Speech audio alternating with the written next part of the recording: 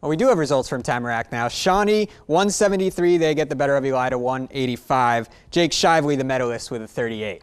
Well, turning our attention to football now. Speed, athleticism, heart, courage, the will to win, those are all characteristics we often hear about successful athletes. And Coldwater's Brody Hoying exhibits all of those qualities, and it's one of the reasons he was a part of two state championship teams last year.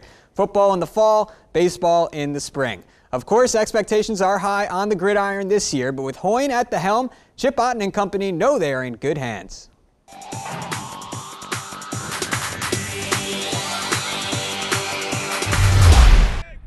Back-to-back state titles on the gridiron hasn't diminished the work ethic of the Cavaliers quarterback and defensive back. Obviously, we know it's not handed to us. It's given because we come out here and we work hard every day. But you could say it's an expectation here at Coldwater. That's what we do. We win state championships the last couple years.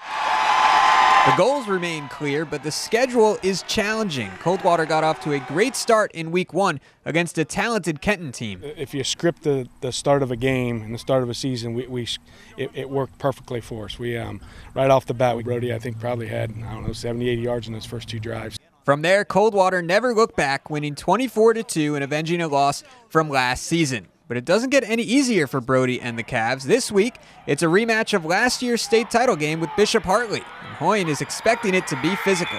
Last year, Malachi Bettinger went down with an ACL, and Nick Clooney went out for about six, seven weeks with a shoulder surgery.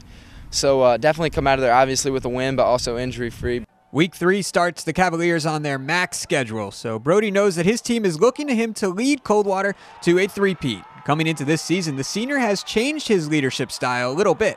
I've always been a quieter guy in the past, like vocally, because I've always been playing with the upperclassmen, and I just kind of led by example to the guys like in my class and below me. Now, being a senior, I've stepped up more of the vocal leadership, like maybe before the game or at halftime if we need to step it up. You know, sometimes people ask, well, how do you call this or how do you do this and I say, well, it's, it's really easy when you have somebody that you can count on that can make plays out of nothing and, and you, and you know he's going to put you in a good situation. And when it comes down to crunch time, you know you can, you can count on it. After graduation, Brody will attend Eastern Michigan University, continuing his football career as a safety for the Eagles. Taking care of his college plans early allows Hoying to focus solely on his final high school football season. It was definitely big to have it done before my senior year, uh, so I could just play with no worries. Because it's definitely it takes a lot of stress out, a lot of thinking. Uh, the whole process does. But Eastern was a great fit for me. You know, I like everything they got going on up there. And he's smart. He knows how to play. Um, he's quick, he's fast, he's strong. We see him do things almost every day. It's like, how do you, how can you do that? I don't know. I just, I just do it. Um, so he puts all those tools together uh, into one person, and he's got them all. In Coldwater, I'm Matt Finkel for the Sports Report.